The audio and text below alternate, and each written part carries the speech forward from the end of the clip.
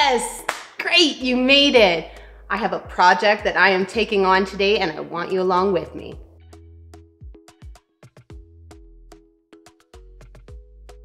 Welcome back people and a huge welcome to my Thrival Tribe.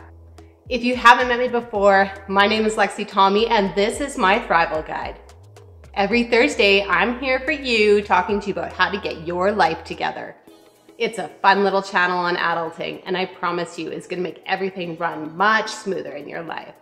So keep watching today and subscribe below so I can keep coming back every Thursday with tips and tricks to help your home and life run much smoother. Last month we talked about minimalism and I have a huge playlist for you to just go and binge watch. So go ahead and hit those links. And this month is gonna be fun too because we are gonna focus on getting spring and summer ready, baby. I am gonna help you step by step to streamline it all so that this is the easiest, breeziest summer you have had in a long time. And after this past winter, like, oh, please, welcome summer, bring it to us. Today I am clearing out all of the fall and winter clothing, sorting it all, paring down exactly to what I need and actually wear, and creating a spring and summer capsule with what I actually have. I'm gonna show you step by step how to do it, how I take this on, so that you can go ahead and do it at your home too. So like I said in the last like hallway closet video, I am going to show you my actual starting point. And just like last week, it is so tempting to just close the door back up and walk away slowly. but I just know that every second of effort that I put in to this streamlined summer clothing capsule, I am gonna get back 10 times over. So closets are really tricky. They seem to collect everything. I don't really know what happened to mine. I have an ensuite in my bedroom that has a built-in vanity even. I never use it. And we have more than one bathroom in our house, but I don't get ready in those either. For whatever reason, this closet has become the command post of getting ready. Unless I'm like curling my hair or straightening my hair or needing to use like a heat tool of some sort, I'm getting ready out of my closet. I'm not sure how that happened, but it did. So work with what you're used to, figure out what works for you and just roll with it. So this closet looks like it has, you know, like a decent amount of stuff, but I do wanna let you know, this is all of the stuff that I own. This is all of the clothing. Other than like jackets and like ski pants and things like that, like outerwear, other than that, this is it. So I have already pared down a lot. So last year I went through this clothing process. I had already minimized and pared down my wardrobe, but last year I hacked it apart. So I have already limited what I own in terms of clothing for myself. And it was liberating. It no longer took any effort at all to see what I had. It was clear. Everything in here was fitting, it was ready to go, but it's been a year and it's amazing what can collect in your space. The stuff that I did keep, some of it got worn out, some of it has pills. It's time to go through everything again. And just like the other videos of spring, I am just itching for a fresh start. So I'm gonna go through step by step the whole process on how I'm gonna make this work. Step number one, do all of your laundry. Yes, all of it. Do it all. And all the different spots that you have clothing like hiding, go and grab it. Get the stuff that's dirty into the wash and get the rest of it in the same spot that you are gonna sort everything else. Because Lord knows, there is no way that you're gonna be able to accomplish this goal until you have everything you own. Look at it all and deal with it all at once. So step number two, you're gonna wanna have your bin system ready to go or your out system. If you've been with me for a while, you know what the out system is. But if you're brand new, you're gonna wanna have a series of totes or buckets or baskets. You're gonna wanna have a small garbage, you're gonna wanna have a donation bin, you're gonna wanna have a sell bin if you're going to look at selling some of the stuff that's new or that is in good enough shape to sell. And then you're gonna wanna have an unseasonable tote to take out the stuff that's for fall and winter. In step number three, it's really simple. You're just gonna wanna take out all the unseasonable wear. So anything that's related to fall or winter wear, you're gonna wanna take out all those chunky, heavy cardigans and sweaters, all those lined leggings. If you're in Canada, it's a giant category of clothing. If you live somewhere that's more warm, um, it might mean colors, different colors that you're going to take out of your wardrobe so that you can create just a spring summer capsule. Step number four is to take out anything that's damaged or stained or ill-fitting or you don't wear it. So for me in particular, I had this sweater and this sweater has made the cut for five years running and I have no idea why. I think it has to do with the feeling the sweater gives me because I never wear it. I loved the look of it. It's one of those like woolly kind of knit. You just came from skiing and you are in a ski lodge in front of a fire type of sweaters. But let me tell you, every time I put it on, I wear it for about 15 seconds and then I take it off again. The thing is itchy, it is tighter fitting, it is extremely hot. So I never ever wear it. And I spent a good chunk of change on it and I really have kept it around because it's so warm that I figure, eh, like I'll wear it for skiing. And it never gets chosen. It's time to say goodbye to the sweater. It's time to bite the bullet. Sometimes you just need to recognize that purchasing an item was maybe not the best decision and you can learn from it and move on. So once you've ditched the untouchables, next is step number five. And that's where you pull out all the stuff that you love. You're gonna put that to the side and you're gonna save that.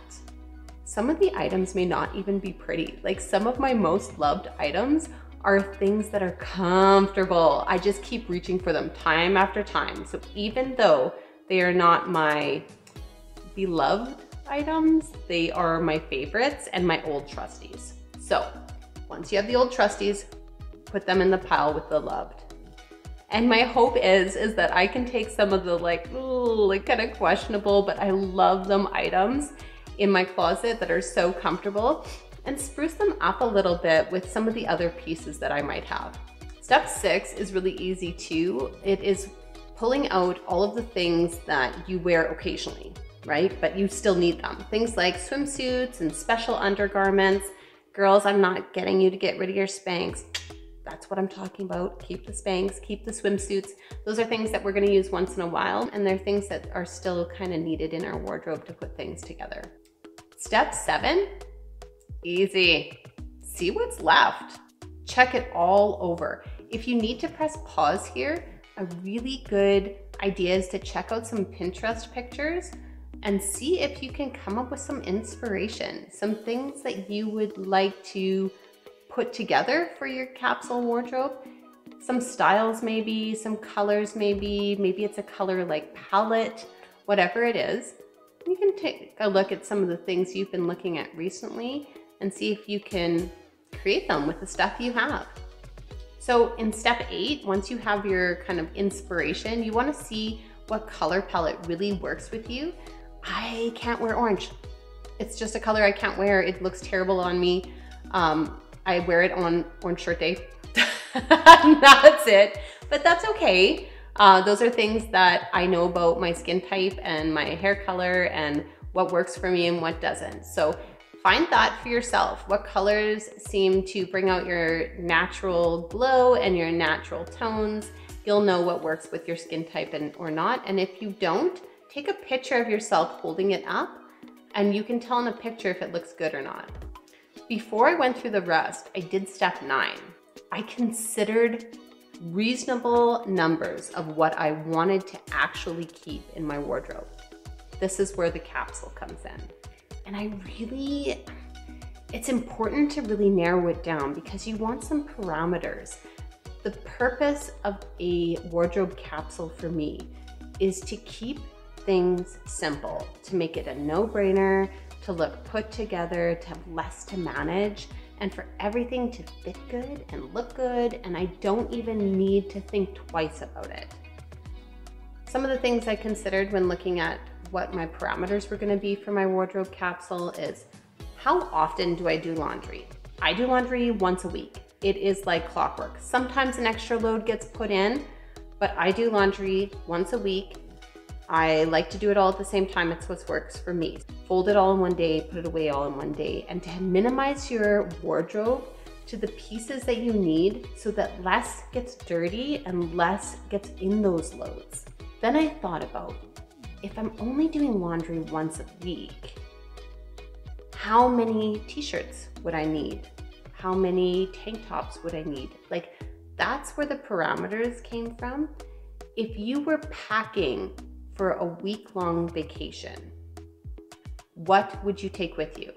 If you were backpacking for that weekend, or if you were trying to stay in a motorhome, for example, what would you take that would simplify your days? That is like a really good starting point and then add one or two. Once I went through and figured out, okay, how much do I want? What is reasonable? Where are my parameters? And I wrote it all on a list. I went to step number 10. And step number 10 is really easy too. It is finding those items by category. So here is my t-shirt pile. I decided to keep four t-shirts. Four t-shirts is reasonable to me. And the reason it's reasonable to me between washing is there's only seven days a week. So if I wore a t-shirt every single day, there's some days where it's not dirty. I'm never gonna wear a t-shirt every single day.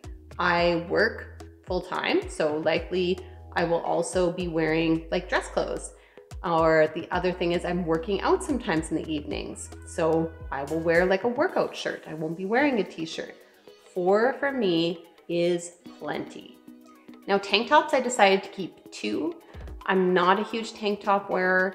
And usually when I wear a tank top, it's in my athletic category. So two's good for me. So make this list work for you and what your preferences are. Be aware of what you typically wear in a course of a week, in the course of a month. A big category that I struggled with was comfy sweaters. You don't have to get rid of all your comfy sweaters. Remember, this is your spring and summer capsule, so you just don't need as many for this spring and summer. You can tuck those away into the winter. I kept two out for my spring summer capsule. Next is work sweaters. Now you would think, what is, like, what do you need work sweaters for in the middle of summer? Mm, like, it's COVID here right now, so I'm just gonna put a disclaimer. I'm working in the basement. It's cooler down there. And when you're not like moving around a lot, you need a sweater. So I'm gonna keep out two work sweaters for that purpose. Dress pants, that's easy. I kept two pairs. I'm not going to be just wearing dress pants. I also have two skirts that I didn't film here and leggings. So two pairs of dress pants are plenty. I kept one pair of comfy jogger pants and workout wear, I actually kept a few pieces and I'll tell you why. In the summer times, we like to prioritize walks almost every evening and, or at least every evening that we can. And so I go through a lot of workout wear in the course of a week. I decided to keep one full length pair of workout pants. I decided to keep two pairs of capri pants, one pair of workout shorts, and a couple of workout tanks. Now the shorts are different, the athletic shorts are different than the other shorts that I kept in my summer wardrobe for the everydays. And so the day-to-day -day shorts that I kept was two. Leggings, I'm gonna keep out one full length pair of leggings for the days that are kind of like rainy or cloudy or dreary, and I can still wear them with like a tunic. I kept one pair of capri leggings as well to just kind of mix and match with some of my outfits. Ooh, onto the jeans. I kept one pair. Um, I don't suspect that I'm going to wear jeans a lot. I haven't been wearing them a lot in the fall and winter category. So I'm thinking that summer is not gonna be any different. I kept one pair of jeans. I'm gonna keep two rompers. Last summer, I was all about the rompers. I hope it's kind of that way this year. It was really easy.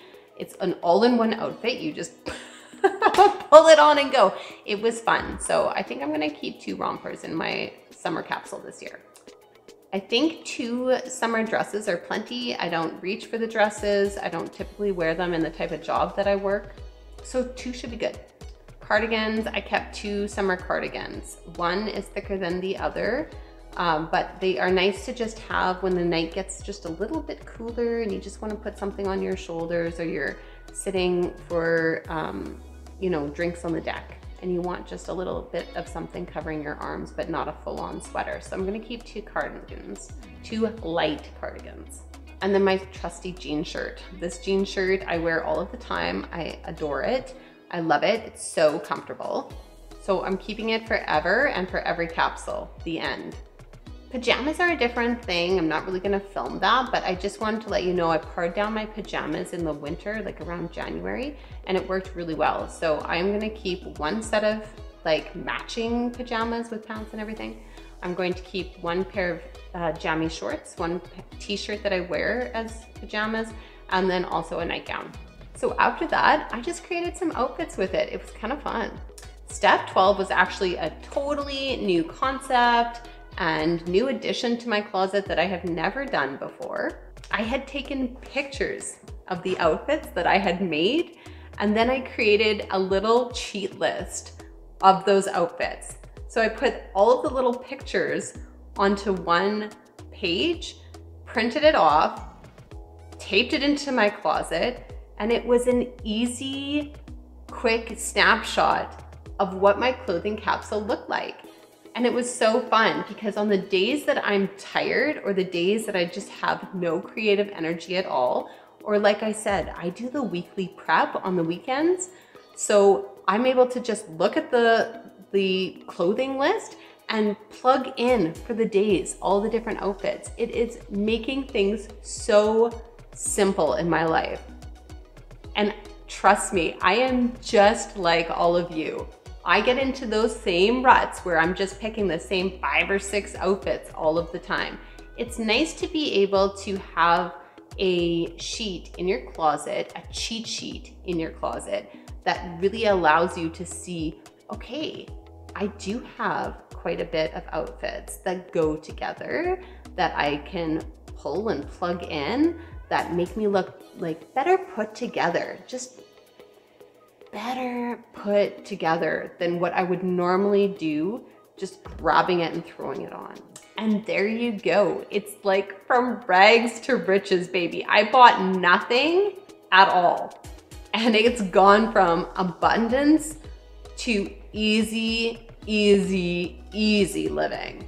I feel like I have a way better, better put together wardrobe that I can pick from and choose from that I'm excited about again and that I love with no money, zero. And on that note, if I am interested in buying an additional piece, I don't have to feel guilty. I know what I could use it for. I know if I have too many already. I know what the shape of t-shirt that I kept looks like. I know the cut of it, I mean, and I can pick out things that match that so that I know it's gonna fit and I know it's gonna look good on me ongoing. So perfect.